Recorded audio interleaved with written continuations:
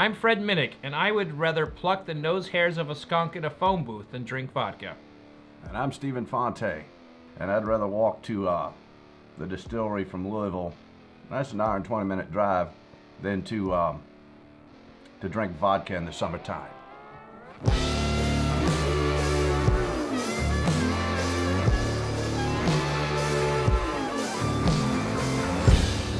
Welcome back to uh, the curation desk.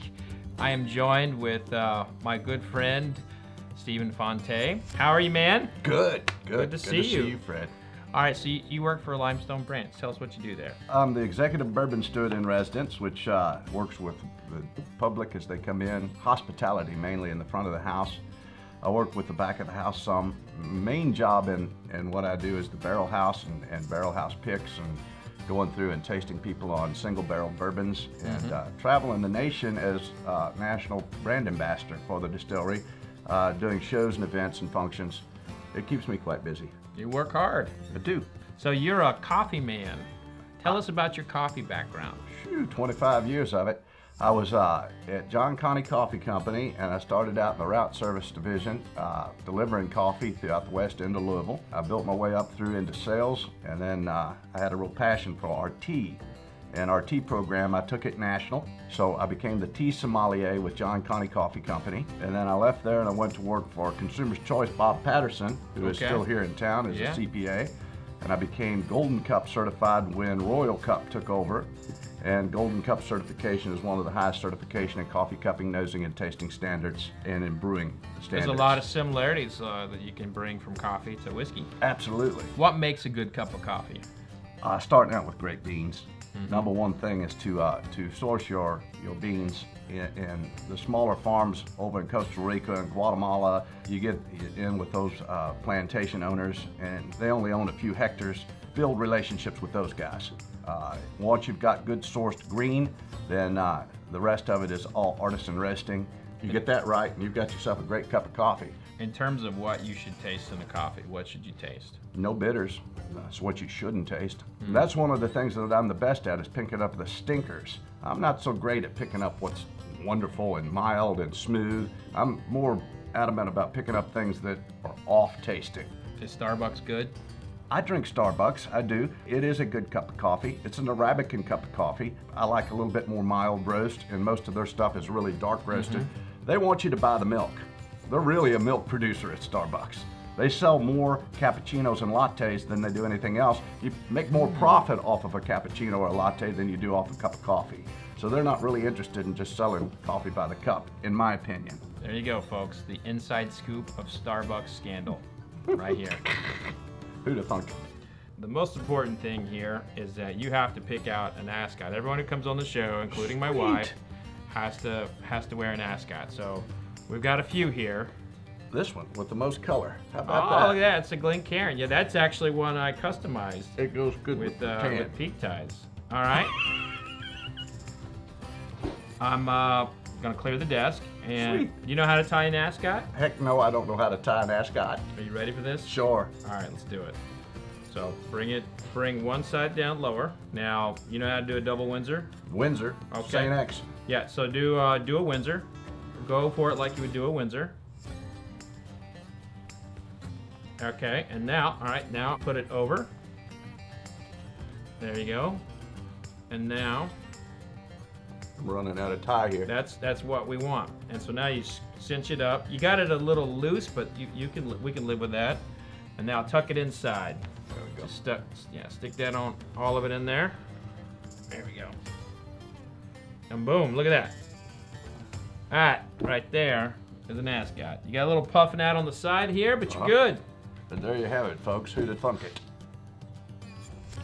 I'm all done with my coffee. It's time for some whiskey. Ah, Let's uh, let's start with someone who's one of your competitors. Sounds good. Town Branch. Now, Town Branch is made in Lexington. You know, they're they're making bourbon, they're making single malts. Oh, look at that. Rolling it around. You got your process here. Everybody's got their own process when it comes to tasting whiskey. It really is true. A lot of people come in, sit down, and I'll tell them the way that I'm going to do the tasting, and they'll be like, no, that's not how we do it. You don't want to break the rhythm. You want to do it however they like to do it. Now this smells like it's kind of like we got a grain truck coming in, and then you know there's a little bit of uh, sorghum right behind it. So this is obviously young. Sweet caramel bomb.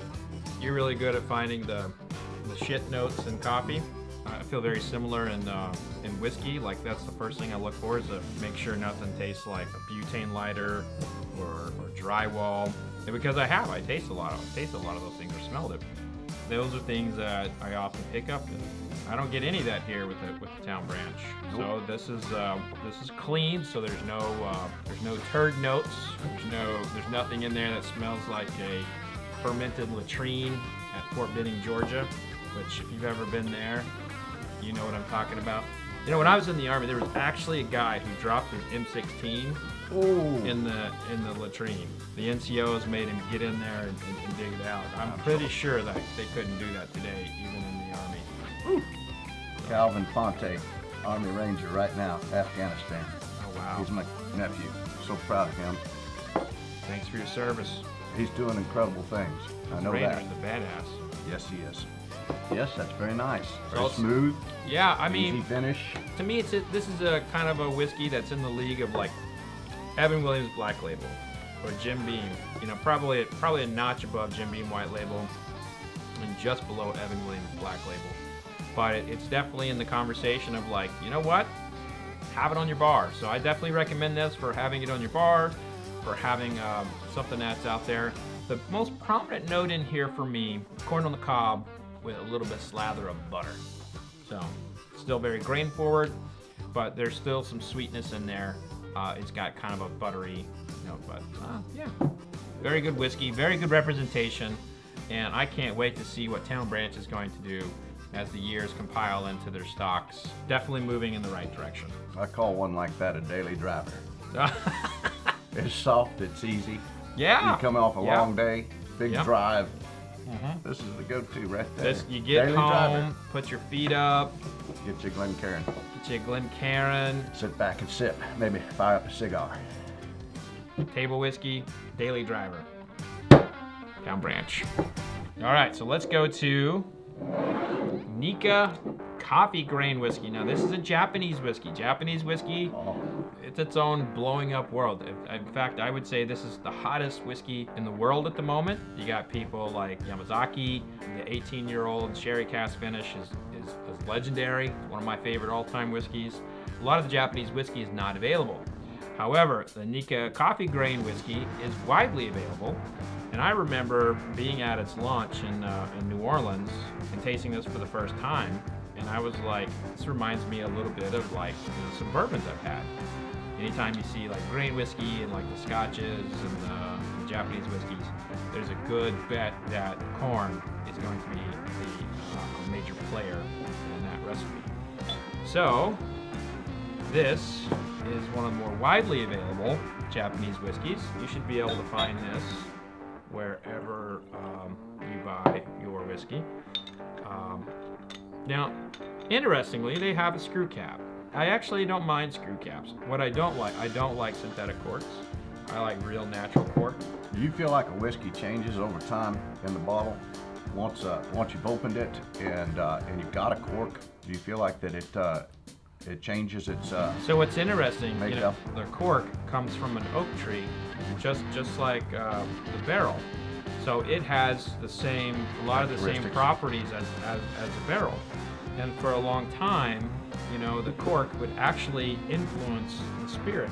They figured out kind of like the ways to, to treat the cork and get it in a way where it's much more neutral and it won't have, you know, any kind of long-term kind of tannic effect on, on, on the whiskey.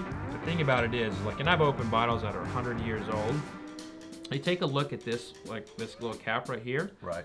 Um, now this is anecdotal. I don't have anything that's scientifically proven, but that little like wax film right there and that plastic over time, if this were to sit in just a random basement, that right there, Break down. it, it could break down. And I had tasted bottles that were perfectly stored, screw cap, been in the basement or wherever for 40 years, and I tasted plastic. And I believe it's just that little film, like right there. And so that's why I think from a long-term storage perspective, cork is still your best bet. Now, interestingly, Town Branch actually used to have a glass closure. And I would say if they can get that seal right, that might be a good one too. Never break down. Yeah, never break. But the seal down. needs to be great. Yeah, needs to be great. And then when you try to pull it out, you know, I mean, you could, Could shatter. Mm. That wouldn't be good. No. I'd strain it, put it through a coffee filter, drink it. this is definitely sweet. There's hints of like honey and like lemon here for me. Wow. Hibiscus. Wow, I'm Mm. picking up plant light notes on the front end of it, very light. You know, the corn is the predominant grain here, but it doesn't taste like bourbon. It can range from like their distillation techniques for how they're cooking the grains to how they're distilling it. And this is one of my major issues with the Japanese whiskey world. They're not very transparent. They blend a lot of uh, spirits that were distilled outside of Japan. And also, bring stuff in from Scotland. And I think what the Japanese are absolutely brilliant blenders. I look forward to the day when when we have absolute transparency in the Japanese whiskey world. To that point, I have found that Nikka is one of the more transparent distillers or blenders that are out there. And they're imported by the Anchor Distilling Company, the same people who have like Anchor Steam, like the, the beer. I've drank my, a few of those. one of my favorite beers, especially when I'm on the West Coast. I don't dislike it at all. I like it a lot. To me, this is a must buy. I gotta get this. If you're in the mood for a break outside of uh, American whiskey, but you still want some of those same notes, I think the Nikka Coffey Grain whiskey is a must buy for you. I would drink this with a Maduro cigar. I would go with a dark cigar because it's got such a light uh, taste to this Mhm. that the heavier the cigar would be would really complement each other. I'm actually drinking this for a dish that would normally call for like a Chardonnay. Uh huh. I want to pair this with that. like a like a really nice uh, salmon and maybe like a, an Italian Pasta, like an Italian pasta, the, the white sauce Right. styles. fettuccine. fettuccine, yeah, fettuccine alfredo. So very cheese forward. I um, have to agree that's different than anything I've drank in the whiskey world since I've been doing this and prior to. So now, for the moment of the hour, we're going to have ourselves a little Yellowstone branch, limestone branch. A lot of people ask us that. Well, what's Limestone Branch and what's Yellowstone? Why are they different? Yellowstone's the child. Limestone's the distillery. Well, it's important to note too that Stephen Beam, who's the owner of Limestone Branch, his family, the Beam family, yes, that Beam family, uh, once owned Yellowstone. So this is a very important brand to Stephen Beam's heritage. It's a good, good sounding cork pop. Well, this is a, uh, a 9 and 12 year mingle. So you've got 9 year barrels and you got 12 year barrels. 12 year barrels that came from the barrel house, came out of the top of the barrel house, had very little juice left in them. Went in 53, came out 16. That is bourbon concentrate. The color on it proves it. The very first thing Mr. Beam taught me when I started working for him was take a look at the color in the legs. And that one's got longer hang time than Michael Jordan. It's uh, the sniggle shits. That's what it is. The sniggle shits. That's what it is. Nine and twelve year mingle. Wait, is this finished in anything? nope, it is not finished in anything. This is a normally nine and twelve year your mingle. so normally your uh, limited releases uh, are finished in something. It's a true story. We have done uh, three different finished uh, bourbons recently in the limiteds. Mm-hmm. Okay. The 2016 was finished in a toasted wood wine cask, which gave it a toasted wood finish like no other bourbon I'd ever tasted. A brand new wine cask, nothing had ever been in it, toasted wood finish. I miss it a lot. Mm-hmm. 2017, what did he do with the cask? He took it to the cooperage, had a one char fired through that 2016 bourbon while it was wet. And then he finished the 2017 in that cask. The 2017 limited edition was bourbon on bourbon. What did he do with the cask? He took it back to the cooperage immediately after the dump wet. That gold medal award winning 2017 bourbon was then fired at a three char through the center of it. The 2018 limited was bourbon on bourbon on bourbon. That's the favorite thing that we've produced so far. Do you know what the mash bills are on the on, on the bourbons? Because these are bourbons that you all would have purchased from somewhere else and aged at your place. That is bit? correct. Our mash bill on Yellowstone Select is 75% white corn, 13% rye, and the rest in malted barley. Some of that distillate made it to this bottle, to 2018's bottle. Okay. So that was the first time Limestone Branch Love had really passed the lips of all Americans, the 2018. This particular bottle does not have our juice in it, and so the mash bill on it is similar but not exact. Probably distilled by cousin. That's what I can tell you. But it would not have been white corn. They would have definitely used yellow corn on that one. I would think so. Yeah. Most distilleries do not go to that specification on their corn. There's only a handful that do white corn. That's right. Okay, here comes the, the Moment mo- of truth. The moment of truth. It's 101 proof, and you'll never believe that this is 101 when you drink it. It's so smooth.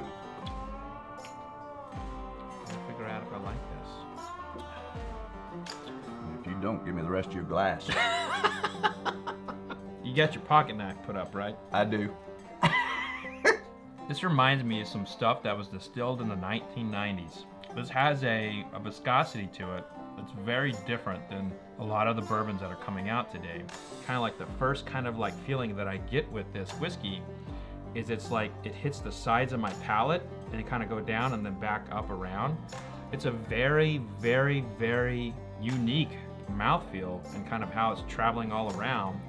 And then the flavors uh, that I get out of this, I mean, the most predominant note that I am getting is pie crust. That is a really good note to get. I commend you all for this. He, he drove uh, an hour about here, about here, about something like that. This bottle's a little cold. That can influence how a whiskey will taste. So I would recommend chilling this for a little bit. Because this is a good sip. This is a good sip of whiskey. This one I would go exactly the opposite of a Maduro cigar and go with a mild, something very light to go with that. You know what I want with this? I want nothing around me. My phone completely away. Mhm. I want some classic literature. And I- Nice. And I, want a fire, and I want absolute quiet while I get into a good book. And I gotta tell you, I miss reading. I got two kids. I miss reading books. I think I write more than I read. You need to duck And, out um, for a 48 hour cabin trip. That's what you need to You know where I'm headed? Oklahoma. Oh, my home state. I know. yeah. I'm going to Lake Tenkiller. I got a three bedroom, 14 bed cabin Okay, on so- Lake Tenkiller. So I'm just picturing you like uh, you're taking your shirt off, Don't call- and you- you're jumping into that. you're jumping into Tenkiller, Yeah. and you're noodling, because that's why people do a Tenkiller. Uh, I'm staying away from the damn you got- snakes. Yeah, the snakes are real there. They are real. yeah, you don't want to mess around. They'll take you out. Looking forward to getting back and, and, Man, and seeing my cousin and his. It's a good Family. time. It's a good time there. Just don't get bitten by a snake. I'm gonna try not to. I'm gonna wear extra tall boots. More than that, though, they go for the thighs. Mm, Mm-hmm. don't tell me that. Yeah. I like it. I'll leave my knife in my pocket. And that's not why I'm saying I would like I liked it. I was just preparing myself. Because the nose wasn't winning me over. It wasn't until I tasted it. What's the price point point on this? That's about uh, ninety dollars in some stores, 110 in other stores. It runs around 90 to 90 to 110 dollars somewhere in there. Damn. Yeah. That's the price of bourbon's going though. Well, I think that'll do it for this episode of the Curation Desk. Did you have a favorite? Yeah, the Ascot. I'm keeping it. Uh, No, can- I'm kidding. No, you can Uh, have it. I really like the Japanese bourbon. Thanks for turning me on to that. I'm going to get a bottle of that myself, especially for the fact that coffee grain. I mean, come on. Yeah? This is my two careers blended into one bottle. Soft and easy. That's right. So there you have it, folks. Stephen Fonte actually liked coffee grain whiskey over his own. Oh, I don't know about that. But close. I did ask you. It's favorite. good. And that's a wrap, folks. Thanks for Cheers. coming in.